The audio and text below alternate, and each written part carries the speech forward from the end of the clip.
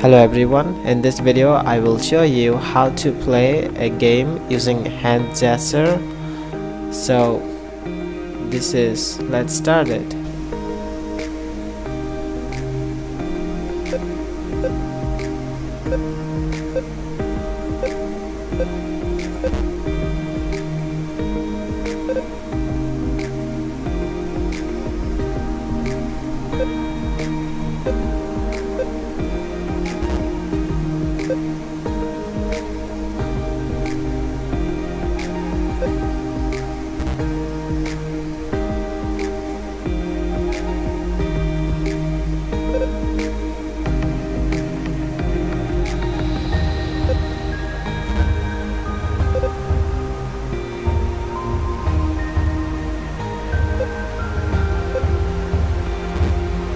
So as you saw in this video I was playing this game using only this hand gesture.